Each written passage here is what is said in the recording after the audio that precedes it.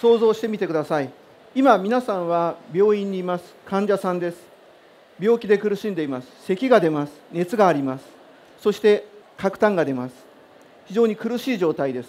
それでは臨床検査技師の世界ではそのバックヤードとしてどういう働きをしているのかを説明します。今皆さん方が提出されたこの角炭この中にあなたたちを苦しめている犯人がいる。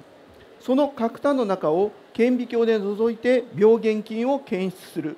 それが臨床検査技師の仕事になります。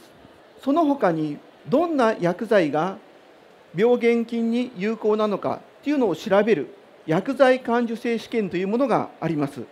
この試験は薬剤に対してサセプティブル完成であるのかそれともレジスタント耐性であるのかっていう判断をいたします。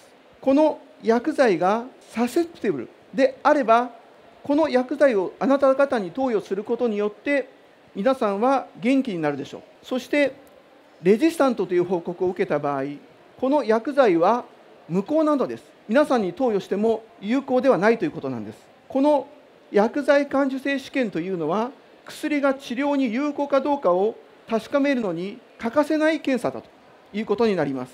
それでは同じ菌種であれば薬剤感受性の結果は同じなのでしょうか？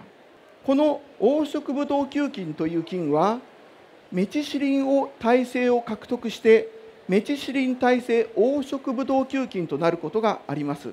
この黄色ブドウ球菌がメチシリン耐性になることによって院内感染を引き起こす重要な原因菌となってしまうことが今医療では注目されています。それではなぜ耐性菌が出てきてしまうのでしょうか？それは薬剤と薬剤耐性菌のいたちごっこだと言われています。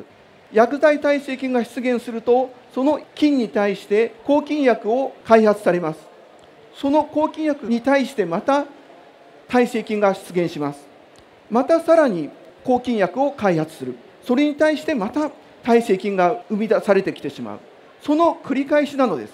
薬剤耐性菌を検出する臨床検査技術は著しく進化進歩しています質量分析による薬剤耐性の原因である β ラクタマージェの検出それから遺伝子検査による薬剤耐性遺伝子の検出こういったものが今すごく進んでいます正確な検査データを返すことが我々臨床側に返すことによって臨床検査技師の役割はますます重要となることでしょう。